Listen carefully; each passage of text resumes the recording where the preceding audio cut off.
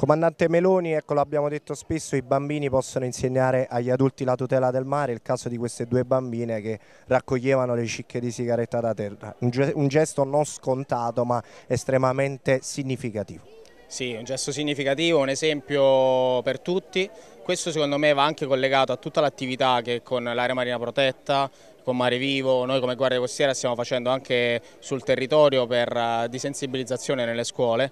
E questi sono i risultati, vedere questi ragazzi che eh, per primi cercano di intervenire sull'ambiente, sul rispetto delle nostre spiagge, sull'attenzione verso il consumo, l'uso della plastica e soprattutto eh, sul appunto, il riciclo questa, della plastica. Quindi eh, questo è il frutto di qualcosa che è già partito da tempo, eh, di sensibilizzazione, è un gesto, secondo me, una, un messaggio di ottimismo per il futuro, le nuove generazioni, questi ragazzi, ma immagino i ragazzi di Plasticless che qua sull'isola di Ischia rappresentano ormai una istituzione, eh, sono un messaggio che parte da, da Ischia per dire a tutti quanti che noi siamo attenti all'ambiente, vogliamo rispettarlo, è un processo che non, non può durare, non si risolve in pochi giorni, però è qualcosa che è partita, qua è partita in maniera significativa e queste due ragazze ne sono l'esempio. Diana e Gaia abbiamo bisogno di questi esempi.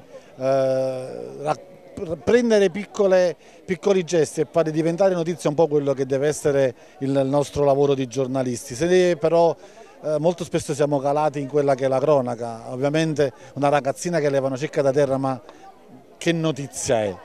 Diventa notizia se la riusciamo a mettere a vedere in una visione un po' più ampia. Premiare Gaia e, e Diana serve semplicemente a dirci ognuno di noi che possiamo fare qualcosa e soprattutto che possiamo tornarci a stupire delle piccole cose.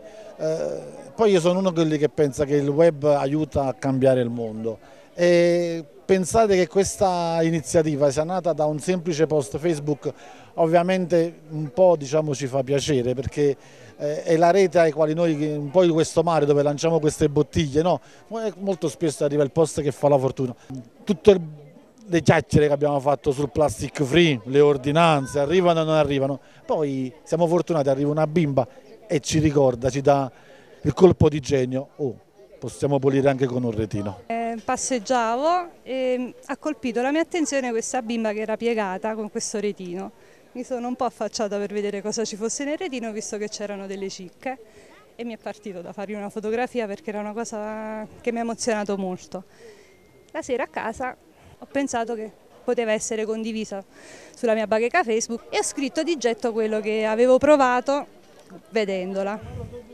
E non mi sarei mai aspettata che dal giorno dopo insomma, si, si creasse tutto l'interesse che, che, che, è successo. Insomma. Per loro era un gioco.